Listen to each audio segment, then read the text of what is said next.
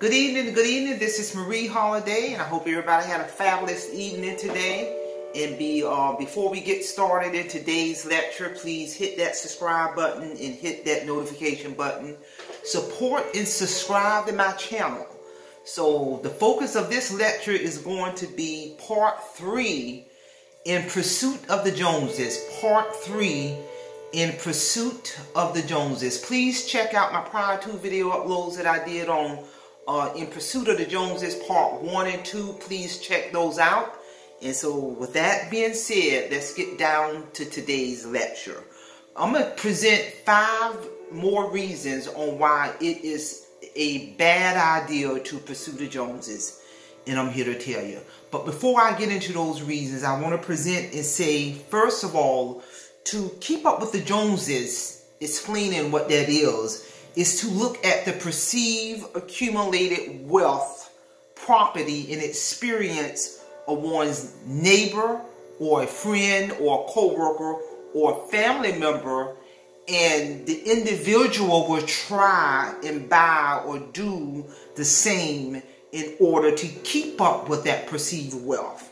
For example, if, if the Joneses go out and buy a, a, a brand new motorcycle or get, get renovation done to their house or take a lavish vacation to Japan, then the, the person who is who is chasing or pursuing the Joneses is either going to try to match that or exceed it.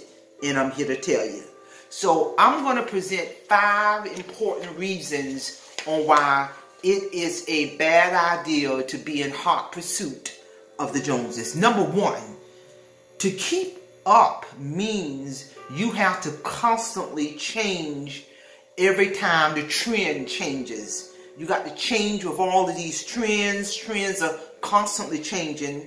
They change from year to year, season to season, and sometimes every month, especially when you're looking at technology.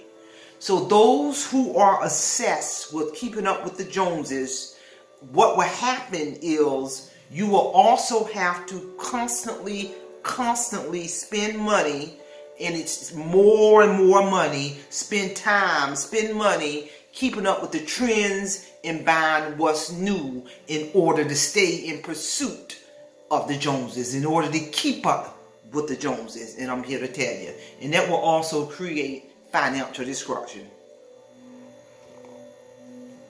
Reason number two in regards to why this is a bad idea to pursue the Joneses, it seems that the more one gets, the more one feels that they have to have to continue to buy and continue to buy and to continue to buy in order to impress others. And yet, you probably already know how annoying it can be to have someone constantly showing off their newest and greatest possession. And I'm here to tell you.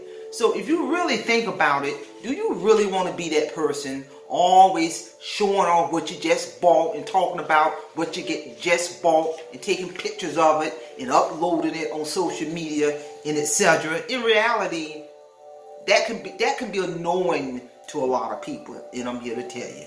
Number three reason, having more things can actually make you more selfish. There are ongoing studies on why this tends to be true. But it does seem that the less you have, the more likely you are to be able to em emphasize and be generous with what you have versus having excessive material items. You, you're going to have more empathy. You'll be more generous the less you have, according to research. Number four, the more you buy, the less content you are likely to be. Psychologists, they looked at this and they call this phenomenon post-purchase dissonance. Basically, what happens is the more you buy, the worse you feel. And then the more you will want to buy again in order to get that rush or excitement again. Such hyper spending and keeping up with the Joneses thus becomes a very expensive addiction and one that can be very, very hard to overcome. You know, a lot of people out there have actually sought help for this type type of addiction, and I'm here to tell you. Number five reason, an obsession with the material world. In keeping up with the Joneses and being in pursuit of the Joneses means that you have to also keep up with material things. In doing so, your life becomes more materialistic or about capturing the perfect image or thing. This creates an obsession and, and it, it, can really create an obsession to the point where it becomes unhealthy. So it's better to step back and enjoy the intangible things in life, such as spending time with yourself, spending time with family, quality time with family, with people who really care about. And I'm here to tell you. So, ladies and gentlemen, those are the five reasons why it is a bad idea to pursue the Joneses. And unfortunately, you got people in their 20s, 30s, 40s, and 50s who are still in hot pursuit of the Joneses. It will create financial destruction, and I'm here to tell you. So, with that being said, that's all I have. Please do not forget, hit that subscribe button, support my channel, share my channel, share this information and with that being said, simplify, simple fidelis, and I'm going to leave you in the care of your own conscience. Have a great evening.